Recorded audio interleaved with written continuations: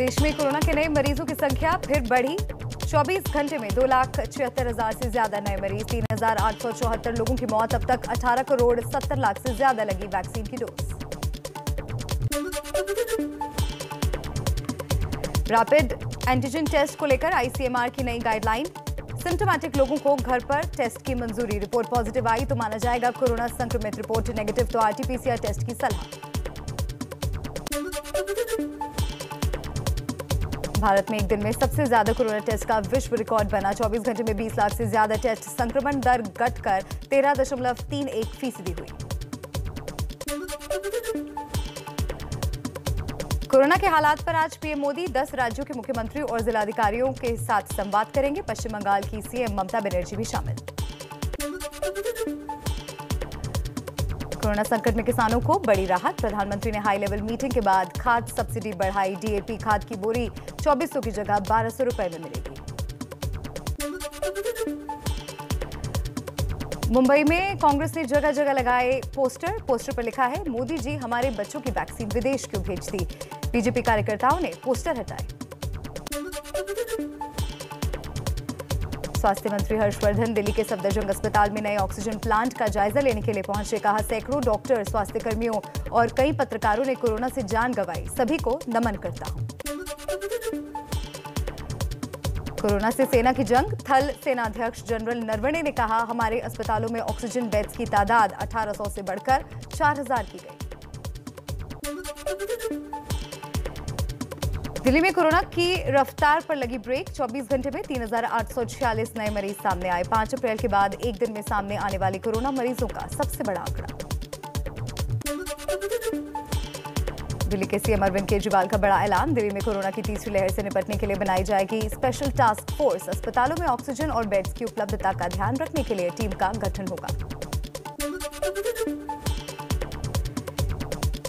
UP में primary को छोड़कर बाकी सभी स्तर के छात्रों के लिए आज से शुरू हुई ऑनलाइन पढ़ाई। राज्य में कोरोना आंकड़ों में कमी और बढ़ते रिकवरी रेट के चलते फैसला। देश में कोरोना पर केंद्र सरकार ने नई गाइडलाइंस जारी की। कोरोना से ठीक होने के तीन महीने बाद लगेगी पहली वैक्सीन शिशुओं को स्तनपान कराने वाली महिलाएँ भी लगवा सकती है वैक्सीन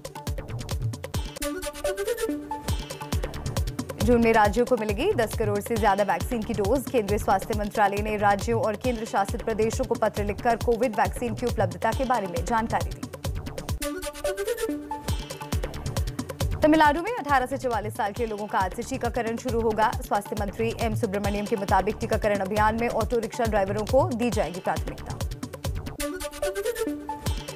दुनिया भर में 8 करोड़ कोरोना वैक्सीन की सप्लाई करेगा अमेरिका। कहा, अपनी ताकत और साथियों की शक्ति के साथ बढ़ाई जाएगी वैक्सीन की उपलब्धता। वैक्सीन की किल्लत को लेकर दिए बयान पर केंद्रीय मंत्री नितिन गडकरी की सफ़ाई। कहा 12 कंपनियाँ वैक्सीन बनाने के काम में जुटी हुई हैं। पहले कहा था कि बाकी कंपनियों को वैक्सीन बनाने का लाइसेंस दिया जाना चाहिए। कोरोना के इलाज में इस्तेमाल होने वाली सभी ज़रूरी दवाओं की आपूर्ति पर सरकार की निगरानी। मनसुख मंडाविया के मुताबिक कोरोना की सभी दवाएँ अब भारत में उपलब्ध और कोई कमी नहीं है। टूल किट विवाद को लेकर कांग्रेस के छात्र संगठन एनएसयूआई ने रायपुर में बीजेपी प्रवक्ता संबित पात्रा और रमन सिंह के खिलाफ एफआईआर दर्ज कराई। गलत तरीके से कांग्रेस के लेटर हेड का इस्तेमाल कर झूठी बातें फैलाने का आरोप। दिल्ली सरकार ने अस्पतालों में एम्फोटेरिसिन बी इंजेक्शन की निगरानी और वितरण के लिए बनाई चार सदस्यीय विशेषज्ञ समिति। इस दवा का इस्तेमाल ब्लैक फंगस के इलाज में किया जाता है। महाराष्ट्र में ब्लैक फंगस से अब तक 90 कोरोना मरीजों की मौत 1500 से ज़्यादा संक्रमितों का इलाज चल रहा है। राजस्थान की गहलोत सरकार ने ब्लैक फंगस को महामारी घोषित किया। राज्य में सामने आ चुके हैं सैकड़ों केस। राजस्थान में ब्लैक फंगस की महामारी घोषित होते ही जोधपुर के अस्पतालों में बने अलग वार्ड, जोधपुर रीजन में 50 से ज़्यादा मरीज़। यूपी की राजधानी लखनऊ में भी सामने आई ब्लैक फंगस के मरीज़। किंग जॉर्ज मेडिकल यूनिवर्सिटी में पचास हज़ार भर्ती, चार मरीजों की मौत, एम रोग, एक रोगी इलाज के बाद ठीक होकर घर लौटा। यूपी के मेरठ में भी ब्लैक फंगस का कहर। अस्पतालों में भर्ती हैं बयालीस मरीज़, तीन मरीजों की हुई मौत। डॉक्टरों ने लोगों से सावधान रहने की अपील की। अलीगढ़ में ब्लैक फंगस के मरीजों के मिलने से हड़कम दीनदयाल उपाध्याय संयुक्त चिकित्सालय और एक निजी अस्पताल में दो मरीज़ मिले।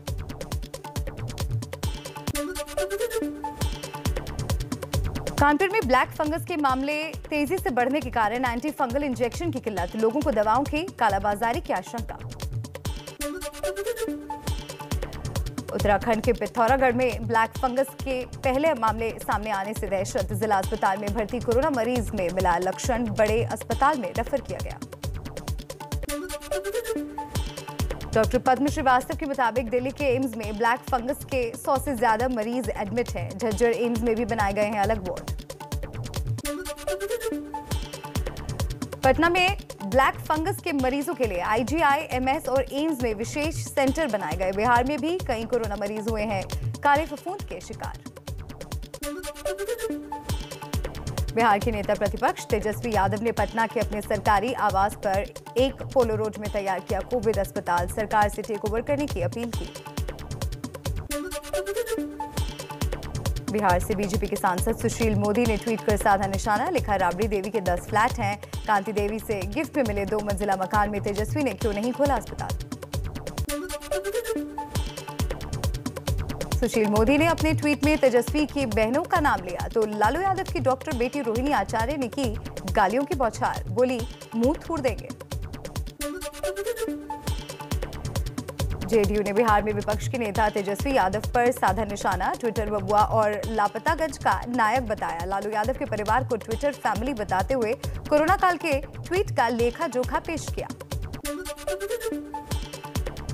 तेजस्वी यादव पर बिहार के पूर्व सीएम जीतन राम मांझी ने भी साधा निशाना, सरकारी आवास को कोविड अस्पताल बनाने को लेकर बोले।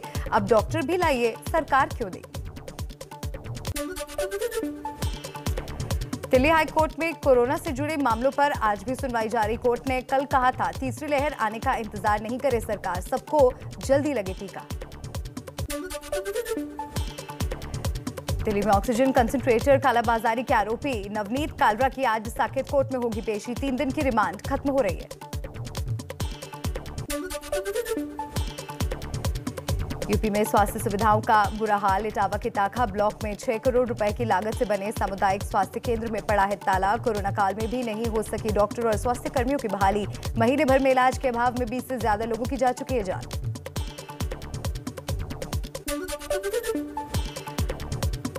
बस्ती में सामुदायिक स्वास्थ्य केंद्र कप्तानगंज की व्यवस्थाओं की फिर खुली पोल। पाँच बजते ही गायब हो जाते हैं डॉक्टर। फार्मासिस्ट और वार्ड बॉय के भरोसे होता है मरीजों का इलाज। बिहार के सहरसा ज़िले में खंडर बना सौर बाज़ार का उप स्वास्थ्य केंद्र। वर्षों से लटका है ताला, लोग रखते हैं भूसा गोबर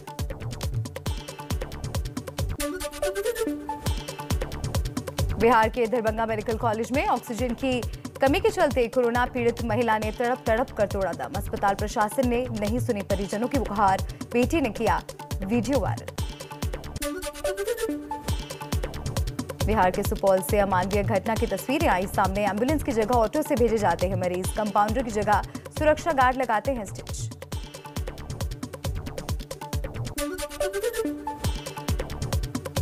बिहार में सिवान के मैरवा से शर्मसार करने वाली तस्वीरें आई। सामने बार बार फ़ोन करने के बाद भी नहीं मिली एंबुलेंस। तो पिता को इलाज के लिए ठेले पर लेकर निकला बेटा। बिहार के स्वास्थ्य मंत्री मंगल पांडे के गृह ज़िले की घटना।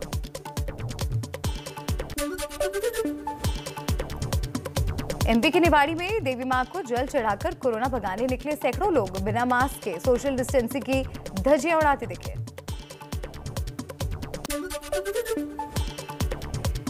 एमपी के आगर मालवा में कोरोना के प्रकोप से निपटने के लिए विश्व हिंदू परिषद को शुद्धिकरण का सहारा, बीएचपी और बजरंग दल के कार्यकर्ता हाथों में हवन कुंड और मंत्रों का जाप करते दिखे। यूपी के शामली में कोरोना पर काबू के लिए कैराना कोतवाली में पुलिस वालों ने कराया यज्ञ और हवन। तीन दिन तक चली पूजा। मध्य प्रदेश के छतरपुर के कई गाँवों में कोरोना वैक्सीन को लेकर फैली अफवाह। वैक्सीन से जलन का दावा कर टीका लगवाने से इनकार कर रहे लोग। पंजाब के जालंधर में एंबुलेंस सवाले की अमानवीय करतूत। पैसे ना होने पर मरीज़ को आधी रात बीच सड़क पर उतारकर चलता बना। कोरोना संकट में देवदूत बनी सेना। जम्मू कश्मीर के राजौरी में गरीबों को बांट रही है मुफ़्त खाना। कोरोना मरीजों के परिजनों का भी रख रही ख्याल। जम्मू कश्मीर के रामबन के गाँव में शुरू हुआ टीकाकरण अभियान। कोरोना संक्रमण रोकने के लिए सबको टीका लगाने का लक्ष्य। ताउते का कहर खत्म होते ही एक और चक्रवाती तूफ़ान का खतरा। 22 मई को बंगाल की खाड़ी में उठेगा यश चक्रवाती तूफ़ान 26 को बंगाल से टकराएगा। पेट्रोलियम मंत्रालय ने तूफ़ान में जहाजों के फंसने की जाँच के लिए उच्च स्तरीय कमेटी का गठन किया। Barge P three zero five Sagar Bhushan और सपोर्ट स्टेशन तीन के फंसने पर एक महीने में आएगी रिपोर्ट। नौसेना के मुताबिक मुंबई के समंदर में बार्ज 305 के डूबने से अब तक सैंतीस कर्मचारियों की मौत। अड़तीस लोग अब भी लापता एक सौ छियासी लोगों को सुरक्षित निकाला गया। जिम्मेदार कंपनी के अधिकारी सवालों से भागे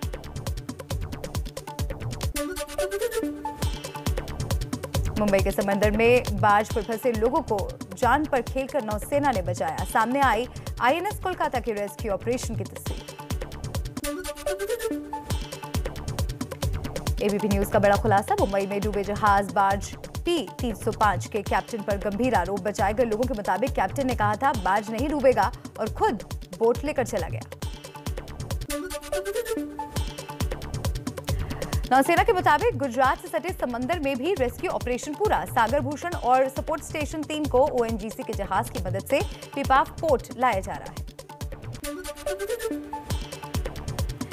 मुंबई में ताउती तूफ़ान के जाने के बाद समुद्र से निकला कई टन कचरा। इससे पहले 2018 के हाई टाइड के बाद अकेले मरीन ड्राइव पर ही 9 टन कचरा समुद्र से बाहर निकला था। ताउते तूफ़ान से प्रभावित गुजरात को 1000 करोड़ का राहत पैकेज, मृतकों के परिजनों को मिलेंगे दो दो लाख। प्रधानमंत्री मोदी के हवाई सर्वेक्षण के बाद ऐलान। महाराष्ट्र के पूर्व सीएम पृथ्वीराज चौहान ने पीएम मोदी पर लगाया भेदभाव करने का आरोप। पूछा, ताउते तूफ़ान से पाँच राज्यों में नुकसान हुआ तो प्रधानमंत्री ने सिर्फ़ गुजरात का दौरा क्यों किया? गुजरात में ताउते तूफ़ान के चलते अब तक 45 लोगों की मौत। अमरेली में सबसे ज़्यादा 15 लोगों ने गवाई जान। दो दो लाख का मुआवजा। गुजरात में 4000 से ज़्यादा गाँव में बत्ती गुल। गुजरात के सीएम विजय रूपाणी के मुताबिक तूफ़ान से प्रदेश में 16,500 कच्चे मकानों को नुकसान पहुँचा 40,000 से ज़्यादा पेड़ भी उखड़े। अहमदाबाद में तूफ़ान तावते के चलते पाँच मंजिला इमारत गिरी। किसी के हताहत होने की खबर नहीं इमारत को पहले ही खाली करा लिया गया था। गुजरात में तबाही मचाने के बाद राजस्थान पहुँचा ताउते तूफ़ान। कई जगह भारी बारिश। उदयपुर, जोधपुर में एसडीआरएफ की टीमों ने संभाला मोर्चा। दिल्ली एनसीआर में भी बारिश। पूर्वी राजस्थान और आसपास के इलाकों के ऊपर बना डिप्रेशन अब कमज़ोर हुआ। मौसम विभाग के मुताबिक सीकर समेत कई इलाकों में हुई भारी बारिश। ताउते के असर से दिल्ली एनसीआर में मई महीने की बारिश ने तोड़ा रिकॉर्ड। दिल्ली में 60 मिलीमीटर बारिश 1976 के बाद मई महीने में इतना बरसे बादल। चक्रवात ताउते का असर। दिल्ली में उन्नीस सौ इक्यावन के बाद बुधवार को मई महीने का सबसे कम तापमान दर्ज किया गया। पारा लुढ़क कर तेईस दशमलव आठ डिग्री पर पहुँचा।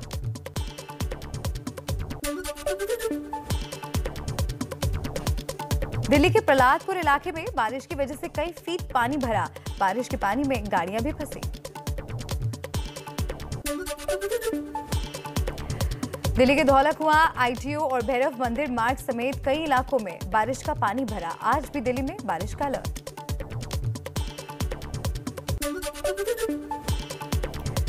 दिल्ली में बारिश के बाद दुर्घटना की तस्वीरें आई। बीती रात दिल्ली के नजफगढ़ में ट्रक गड्ढे में गिर गया।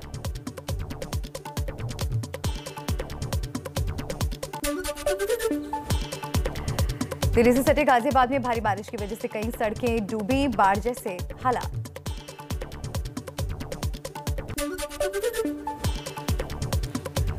यूपी के शामली में बारिश के चलते मकान की छत गिरी, एक महिला और उसके तीन बच्चों की मौत। परिवार के बाकी छह लोग जख्मी हुए। हिमाचल प्रदेश के किन्नौर के चिटकुल गाँव में हुई बर्फबारी। बिजली पानी प्रभावित, हिमाचल के अन्य इलाकों में बारिश, मौसम विभाग ने 24 घंटे का ऑरेंज अलर्ट जारी किया। चीन ने भारत में ताउते तूफ़ान से हुई मौतों पर दुख जताया, कहा जिन्होंने अपनों को खोया, उनके प्रति गहरी संवेदना। केरल में एलडीएफ सरकार का आज शपथ ग्रहण समारोह, पूर्व स्वास्थ्य मंत्री के के शैलजा को नए मंत्रिमंडल में शामिल नहीं करने पर विवाद सीपीएम ने कहा, शैलजा को मंत्रिमंडल में शामिल न करना राजनीतिक और संगठनात्मक फैसला। अर्जेंटीना में फिर बढ़ा कोरोना का संक्रमण। एक दिन में पैंतीस हज़ार से ज़्यादा केस आए सामने 745 लोगों की मौत, जबकि करीब 20 फ़ीसदी लोगों को लग चुकी है वैक्सीन की एक डोज। इसराइल के सडेरोइट शहर में हमास से दागे पाँच रॉकेट। इसराइल के मुताबिक घरों और वाहनों को हुआ भारी नुकसान। जॉर्डन में इसराइल के खिलाफ घुड़सवारों ने प्रदर्शन किया। फिलिस्तीन और जॉर्डन के झंडों के साथ मार्च।